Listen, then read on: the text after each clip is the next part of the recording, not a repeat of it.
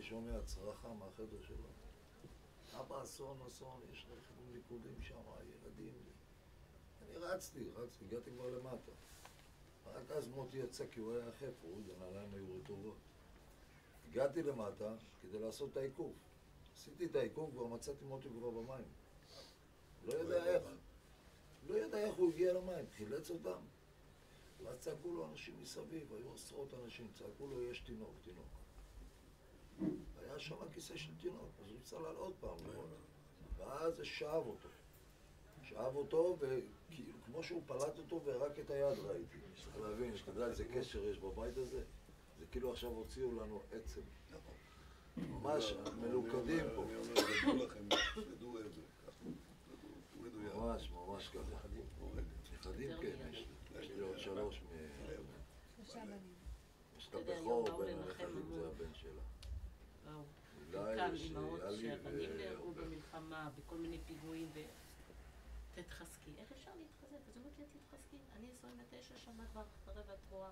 אני אומרת לה, אלוהים, אני לא מסוגלת. בתוך, ה, בתוך הסערה אפשר, אפשר לחשוב שיוצאים מהייסורים האלה, בתוך עומק הייסורים שאתם אומרים עכשיו. אי אפשר, לא מאמינים שיוצאים מזה, אבל החיים, אה, יש להם את העוצמה שלהם.